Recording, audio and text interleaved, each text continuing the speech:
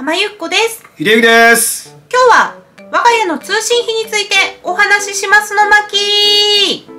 はい。別の動画で僕らが使っている携帯回線についてお話ししたことがあったんですけど、そこで少し反響があったんで、今日は詳しくお話できたらなって思います。まずは我が家の通信費を公開します。携帯回線だけではなくて、我が家のすべての通信費です。我が家の1ヶ月の通信費は4952円でした。これは2月の通信費になります。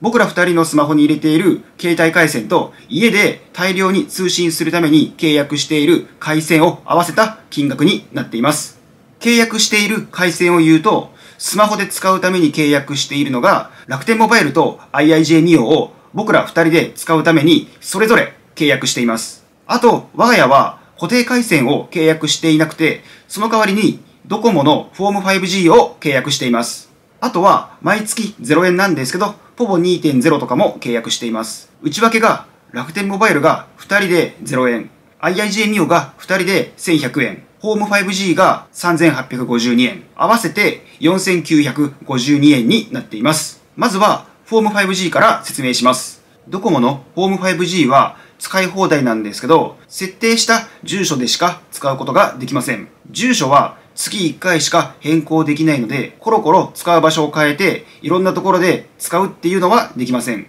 フォーム 5G の SIM をスマホに入れればいいんじゃないかって考える人はいると思うんですけど、それはできないってことですね。こちらの料金が4500円となっていて、これならね、普通に固定回線を契約した方がいいかなって思うんですけど、ただ、3年間は月々サポートっていうのがあって、毎月1100円が引かれるんです。これは本体代を実質的に割引するためのものなんですけど、キャンペーンで一括0円で買うことができる時があるんです。去年の12月にヤマダ電機でそのキャンペーンをやっていて、僕はその時に契約をしました。そのキャンペーンで購入できると、本体代は0円なのに、月々サポートで毎月1100円が割引されるので、毎月3852円でいけるんです。これね、めちゃくちゃ安くないですか？しかも、いつ辞めても違約金は発生しないんです。これね、固定回線だと大抵3年縛りとかがあって、マンションだと4500円とかかかったりしますよね。なのに、ドコモのフォーム 5G だと3年縛りなしでこの金額です。結構良くないですか ?3 年後に割引がなくなったらどうするんだっていう意見はあるかもしれないんですけど、ただおそらく3年後までにはまたどこかで新しいお得なプランが出てくると思うんですよね。そしたら、それにね、乗り換えたらいいかなって思ってます。それに一応、フォーム 5G はもうね、これ僕らのもので返す必要がないんですよ。で、このフォーム 5G に、例えば楽天モバイルの SIM とかを入れても使うことができるんですよね。ですので、使い放題で安い SIM とかを挿して使ってもいいかなって思ったりもしています。次に、スマホで使っている回線についてお話しします。僕らは楽天モバイルと IIJ ミオを2つ使っています。iPhone XS 以上だと2つの SIM を入れることができるようになっていて、電話はこの SIM、データ通信はこの SIM という感じに、SIM を分けて使うことができるようになってるんです。この仕組みを利用して2つの SIM を入れてあげることで、料金をぐんと安くしています。楽天モバイルは1ギガまで0円で、楽天リンクを使うと0円で電話し放題になります。ですので、電話専用の回線として使ってあげることで、毎月0円で使えるんです。そして、データ通信をするために契約している IIJ ミオの2月の携帯通信費は、2人で、なんと、1100円でした。ですので、僕らのスマホで使っている通信費は、2人で1100円なんです。